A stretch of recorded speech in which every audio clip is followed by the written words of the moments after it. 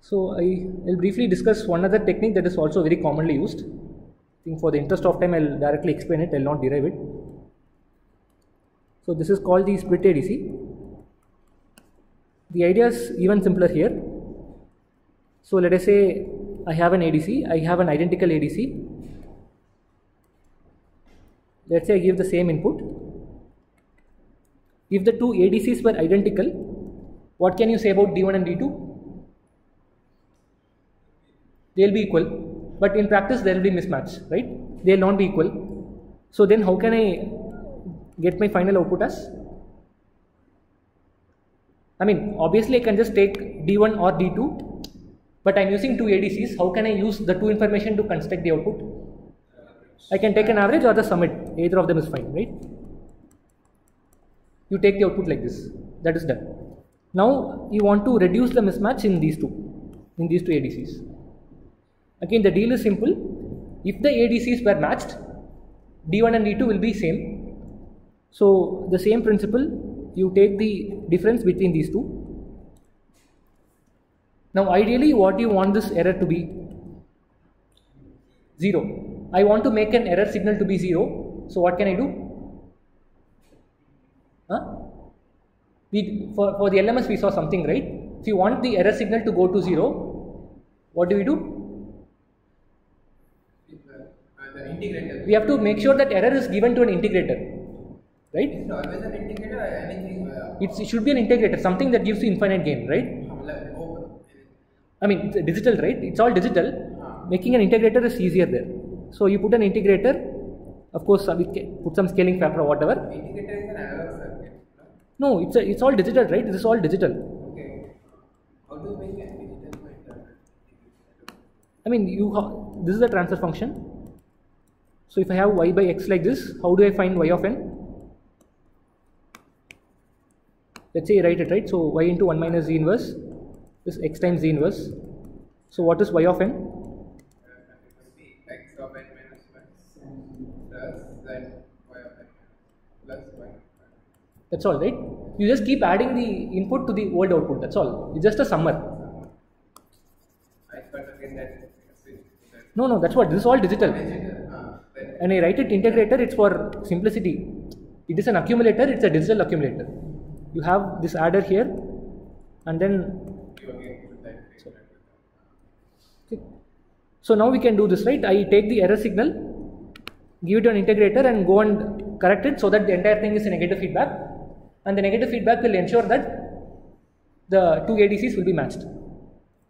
So now the question is how can this be used for correcting the gain error in pipeline ADC? So I'll just quickly show that. So okay, now I need to draw the pipeline ADC. Yeah, maybe let's say I simplify this. let's say this is stage 1 this is the residue amplifier given to the second ADC I take both these guys. I'll take the first stage output second stage output scale it with the appropriate scaling factor and get D1 here. Similarly on the bottom side I have first stage the residue amplifier with again G1 A hat goes to second ADC and you take the first ADC output and second ADC output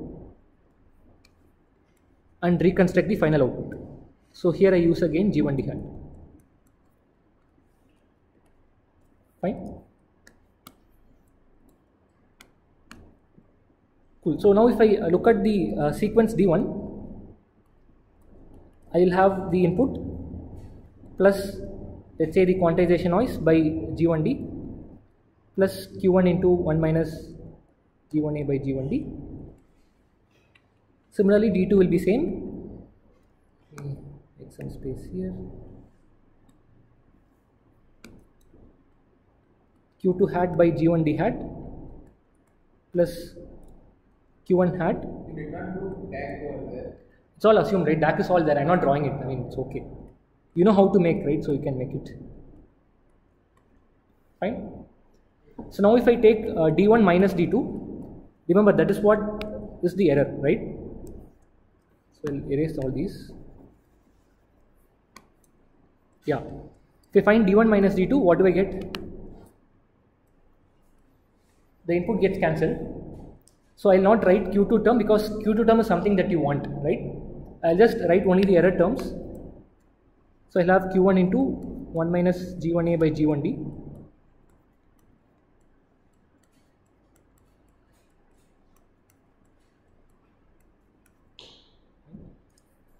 So now let us say uh, q1 and q1 hat they are not same. They are sort of independent. Okay? Then the only way for this error signal to go to 0 or what is the only way for this entire thing to go to 0 Both the gains are independently both of them must go to 0 so which means this will get corrected this will get corrected.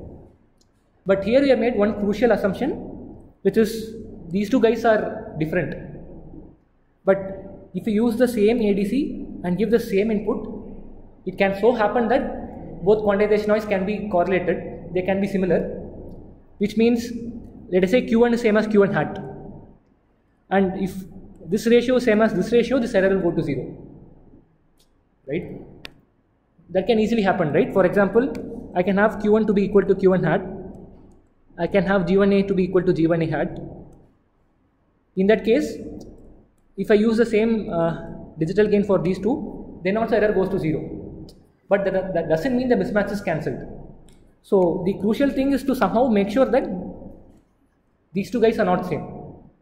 So again couple of things that can be done. So one thing that is commonly done is go and add a small offset voltage here. A very small offset voltage. Then what will happen? The signal that the first adc in the top branch sees is different from the signal seen by the first adc in the bottom branch. So which means the quantization noise generated will be different. But in this case again your input amplitude must be smaller to accommodate for this. The other thing is same thing to play with the comparator thresholds. So I'll erase this or yeah I'll show here. Let us say the first ADC in the top branch has this thresholds. You can again go and change the thresholds for the bottom comparator and for the bottom ADC intentionally change the comparator thresholds. And once again since we have redundancy in this gain here we know that even if we make an error in the comparator thresholds we will be fine. So we make a tolerable error for the comparator thresholds. If you do this even for the same input the quantization noise of this guy and this guy will be different. Is that okay? I'm giving the same input but for the first adc in the top branch i have the correct quantizer characteristics.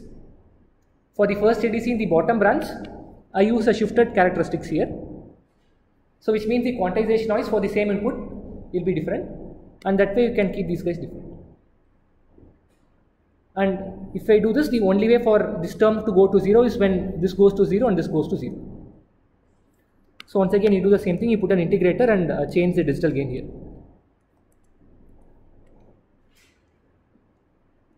Cool. And again this uh, split ADC is a very generic principle.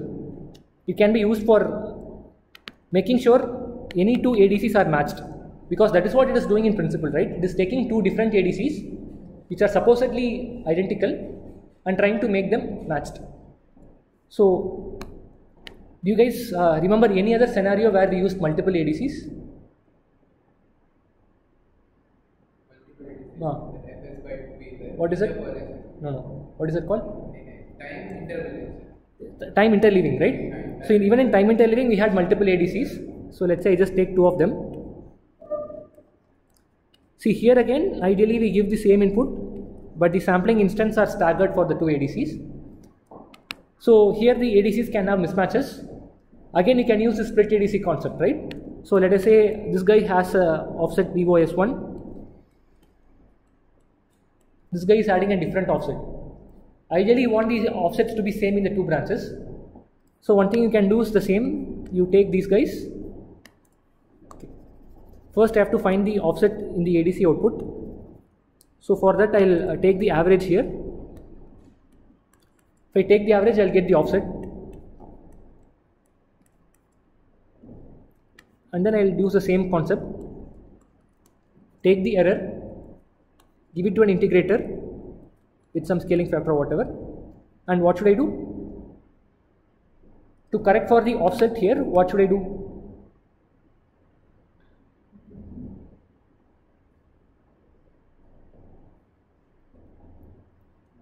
I mean, let us say if this is VOS2, if I want if I want the overall offset here to be equal to VOS1, what can I do?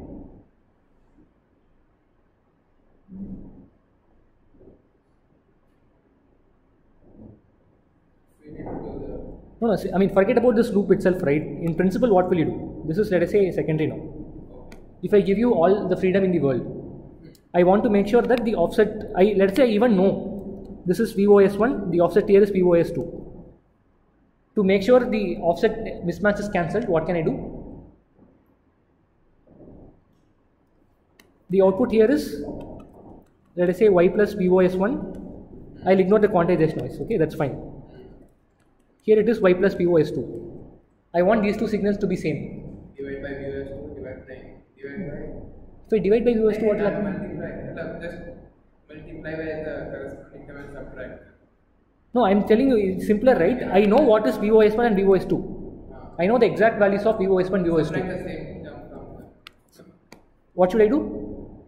I mean, it's pretty simple, right? I am telling you, I have two outputs, y plus VOS1 y plus VOS2. In the down one, add VOS1 minus VOS2. That's all, right? Yeah. So here also I'll do uh, digitally. I'll add a number here that will correct for this offset.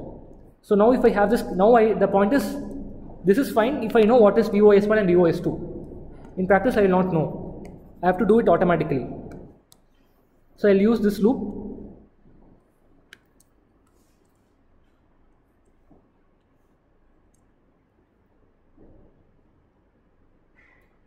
Okay. So this will make sure that the error here is zero and it will add an appropriate offset here to keep the error zero and the error is basically the difference in the offset. Now I mean same thing you can do for tackling gain error also. For example,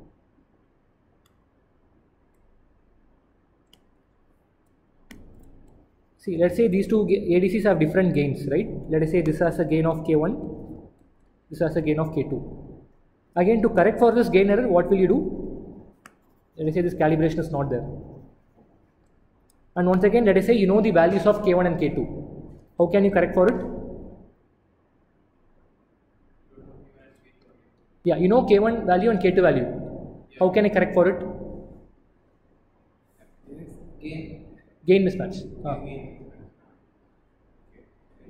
Here it will be K1 V1, sorry, K1 times Y, K2 times Y. I want these two to be same. What can I do? I'll put a scaling factor here and change it. So that's what I have to do here.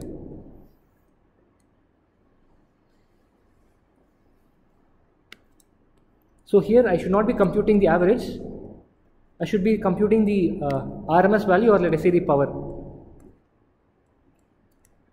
The power will give the value of K1 square, right? And this will give K2 square and then you can go and pick the gain. So the split is a very generic technique where you can take one of these guys as a reference path and try to match all the other parts to the same path. Cool. So this is about uh, calibration principles.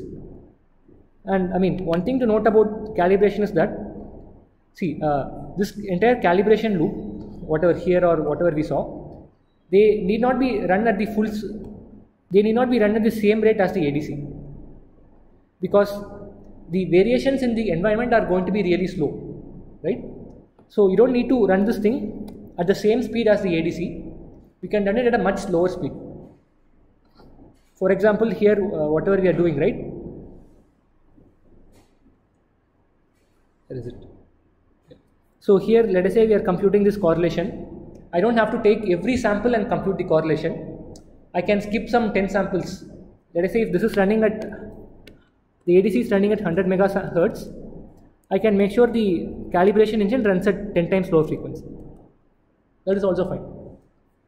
Because it's going to run in the background and keep tracking it continuously. Even if it's a bit slower, it is okay. This is basically done to save power. Okay. And although I showed this calibration for gain mismatch in pipeline ADC, the same thing will work for DAC mismatch or anything. The principle is the same. Either you use a